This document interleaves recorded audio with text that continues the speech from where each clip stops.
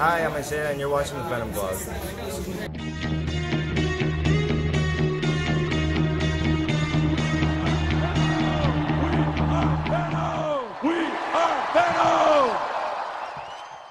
Hey, what's up, everyone? Welcome to another episode of the Venom Vlog, and today is Free Comic Book Day.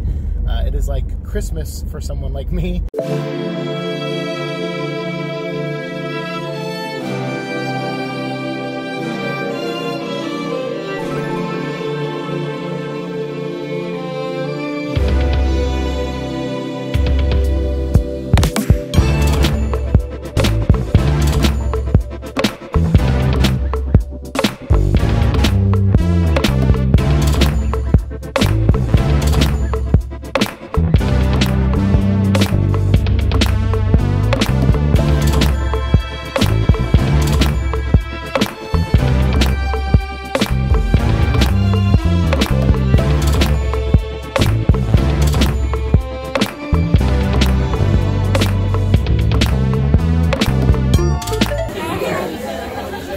Venom's your favorite? Yeah? Yeah? All What do you like about him? He's big and black. And Spider-Man's my favorite. Spider-Man's favorite too? Cool. And I do love Venom, Venom, and the movie might not have been my favorite of the year, but Venom looked great. I really liked how he looked. The CG was amazing. It was- yeah, really good. Hey, what's up? Free Venom comic? I like your Spider-Man shirt. You're very welcome. Oh yeah, take your time, man. Take your time. You got it. Boom. How about a Venom poster? Come on, it's sexy Tom Hardy. You know you want it. Can't say no to that guy.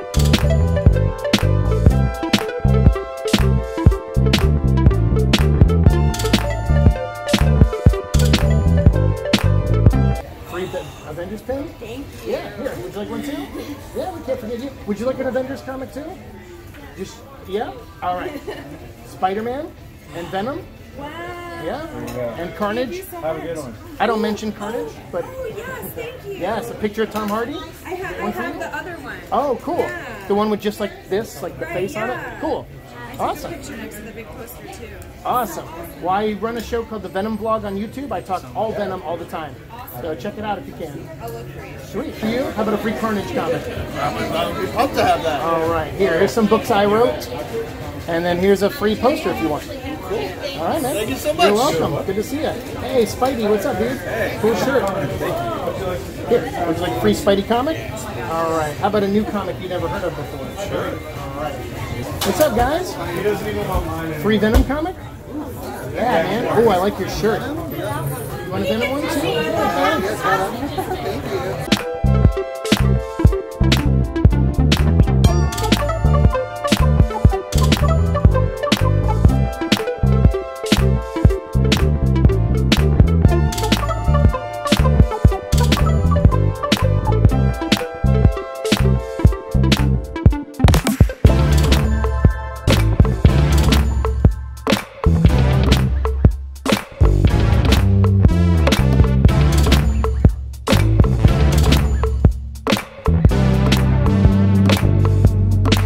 Comic Book Day 2019 comes to a close, at least for me. I know my friends at Golden Apple, they actually continued it and they did uh, Free Comic Book Day Part 2 at the Comic Bug. They went to another store here in Los Angeles and had Blastosaurus and everything set up over there and, you know, gave out more copies of the annual and everything, which was really cool. I thought that was a neat idea for Blastosaurus because I love Richard and Paul who make that book and I really love the book itself. And even though it's a book made by Golden Apple, so obviously I'm a little biased, but still it's a really good book. I, I just enjoy it in general. I think it's a lot of fun. And so when I heard they were doing the annual for Free Comic Day, I was like, I got to get a copy. I got to get it signed. So I was, it was nice to talk to those guys and, uh, you know, them tell me a little bit about the plans coming up for the book and that they're going to continue it, which is really, really great. So please support independent comics like this. Uh, pick up Blastosaurus, especially if you have kids out there. It's a lot of fun. It's a really, really great book.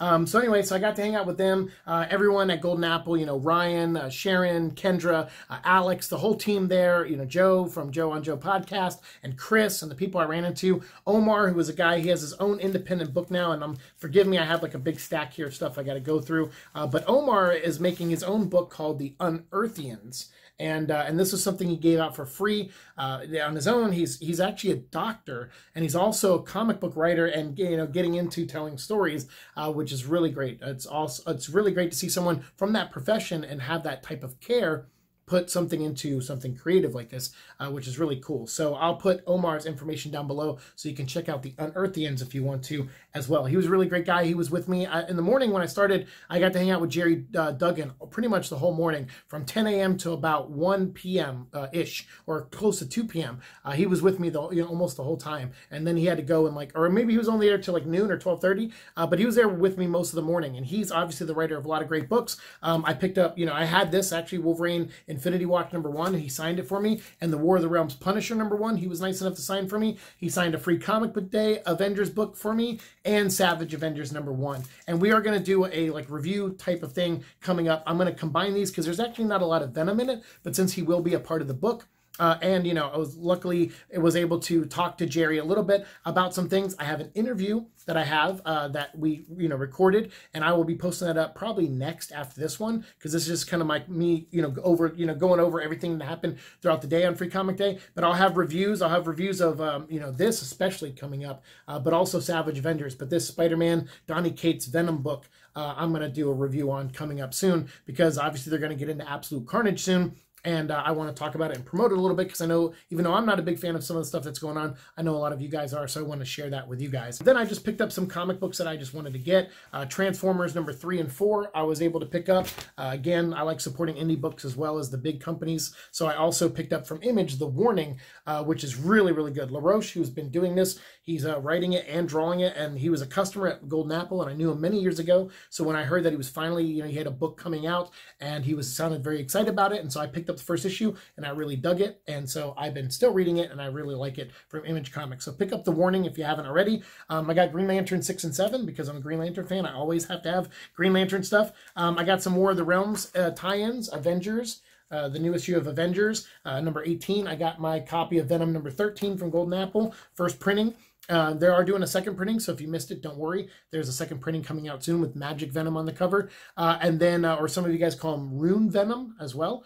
Uh, so whichever name you prefer. Uh, then I also got War of the Realms War Scrolls because I wanted to read about Daredevil getting his new power set. And then, of course, Spawn 296 uh, you know, Road to 300. So, um, yeah, you know, for a Free Comic Day, I know it's a great day to get free comics, but it's also a good day to support local businesses, uh, especially ones that are trying to promote literacy and get comic books out there. So uh, that's why I like going so much. And I missed out going last year, so it was really nice that Ryan let me come and help out and hand out, you know, on behalf of Marvel and Donny Cates and Ryan Stegman, the, you know, their book that they worked really hard on to set up their new event book coming out later this year. So it was it meant a lot to me. I mean, it was nice to get asked to do something like that. Obviously, from Ryan at Golden Apple, I didn't, you know, get the okay from Donny or anyone like that. But as much as I'm criti- you know critical of the work that they do, I don't have anything against those guys. Obviously, personally, uh, I don't know them personally, but from judging from how they interact on social media, I would say they seem like pretty awesome guys, and I'm definitely in their corner rooting for them. But you know, I just have some criticism of the book is all. So you know, but I know you guys don't, so I want to try to you know get the word out there.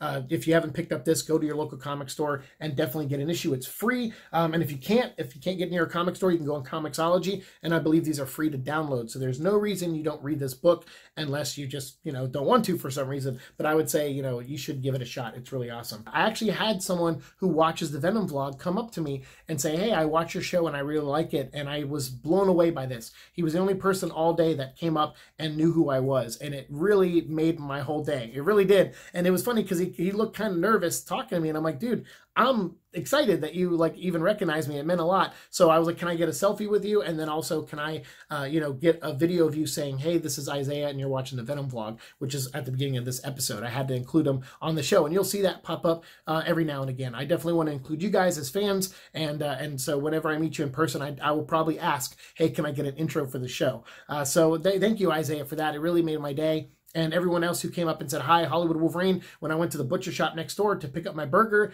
uh, he was there like pretending to chop up the meat. So I got some footage of him doing that, which was pretty awesome. And uh, then later on, like uh, just earlier this evening, I went actually to see Endgame again, and I didn't get home till midnight. Now it's like one in the morning. I didn't get home till midnight, and I saw when I was coming out of the movie, I saw it was on Hollywood Boulevard, and I saw Hollywood Wolverine. I was like, you got to be kidding me! It's the same guy. So I went up and I was like, hey man, can I give you a couple bucks? Can I get another picture with you? And um, he was like, no, man, keep your money. I remember you from Golden Apple, Venom Vlog. We were talking for a few minutes, and he was like, all right, let's get in here. Let's take a couple selfies together. So we took one where I'm smiling, and then another one where he put his claws like out towards me. And uh, it was great. He was a really nice guy. I was like, I, I was weird. I got like starstruck around him because I'm such a Wolverine fan. But on top of that, I'm a big Hugh Jackman fan too. And this guy looked and sounded just like him, but he was also really nice, just like a really nice dude. And, uh, you know, I live in LA, and it's, it's not always the case when you meet people, uh, no matter what profession they're in, you know, so you, you're never sure. You're always on guard, but he was such the nicest guy in the world.